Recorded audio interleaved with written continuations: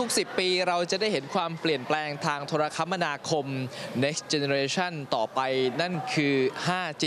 ในปี 2020 นั้นคาดว่าจะมาถึงแล้วนะครับ ความเปลี่ยนแปลงครั้งล่าสุดที่เกิดขึ้นนี้ก็คือเรื่องของ 4G แต่ว่าสิ่งหนึ่งที่ผู้ให้บริการโทรศัพท์มือถือ หรือว่าเครือข่ายที่เราใช้นั้น ได้นำสิ่งที่หวือหวาในวงการก็คือ Unlimit อินเทอร์เน็ตครับ ใช้อินเทอร์เน็ตไม่อั้นจะเป็นอย่างไร ไปติดตามความคืบหน้าของ d t แทในงานแถลงนี้ครับ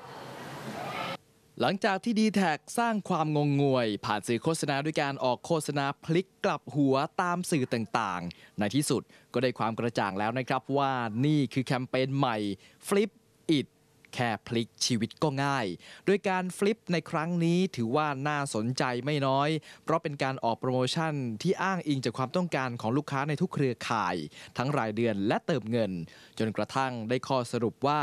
สิ่งที่ลูกค้าต้องการคืออินเทอร์เน็ตที่ใช้งานโดยไม่ต้องกลัวว่าจะหมด ไม่มีฟับหรือว่า Fair Usage Policy ไม่ต้องปิด Data บ่อยๆ เพื่อการเน็ตรั่ว สามารถโทรฟรีกับเครือข่ายเดียวกัน โดยไม่มีดอกจันด้วยครับ นี่คือแพ็กเกจใหม่ส่งตรงจาก d t แท ในส่วน Go Limit จะแบ่งออกเป็น 2 ส่วน คือรายเดือนและเติมเงิน ส่วนซิม Go เพลินจะเป็นซิมใหม่ที่ d t แทจะวางจำหน่ายออกมา ซึ่งจะเริ่มต้นแคมเปญในวันแห่งความรัก 14 กุมภาพันธ์ที่ผ่านมานี่เองครับ และไม่กังวลว่าคู่แข่งรายใหญ่จะชูเรื่องคอนเทนต์บนมือถือด้วยออมองไปข้างหน้าเนี่ย dtac แน่นอนครับ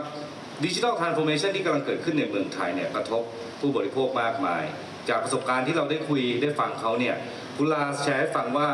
dtac อยากจะโฟกัสอยู่3อย่าง เพื่อให้ทรานส์โฟ m มชันตรงนี้เนี่ยดีแล้วรู้สึกว่าเรียบง่าย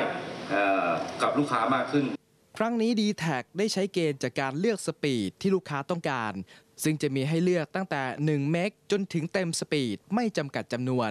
ส่วนเติมเงิน Go No Limit นั้น จะมีให้เลือกตั้งแต่ 256K ไปจบที่ 4 เมก จุดเด่นของโปรโมชั่นใหม่นี้จะทำให้ลูกค้า d t แทสามารถใช้งานอินเทอร์เน็ตแบบเต็มสปีด การโทรฟรีภายในเครือข่ายเดียวกัน ก็โทรได้ตลอด 24 ชั่วโมง ไม่มีการจำกัดเวลาที่โทรฟรี แต่ทุกความเร็วห้ามนำอินเทอร์เน็ตไปใช้งานผิดประเภทนะครับ เช่นเอาไปแทนเน็ตบ้าน หรือโหลดบิตตลอดเวลา เพราะฉะนั้นจึงไม่จำเป็นต้องไปแข่งขันในด้าน IPTV เราเข้าใจว่าอินเทอร์เน็ตเป็นส่วนหนึ่งที่สำคัญมากนะครับกับ ลูกค้าทั่วไปที่ใช้บริการเอ่อโทรคมนาคม ตัวเลขตรงนี้ก็คงไม่น่าจะแปลกใจอีกเหมือนกันนะครับ โดยเฉลี่ยเนี่ยประเทศไทยเนี่ยมีการใช้อินเทอร์เน็ตเยอะมากในอันดับต้นๆของโลก 1 วัน 24 ชั่วโมงเนี่ยโดยค่าเฉลี่ยแล้ว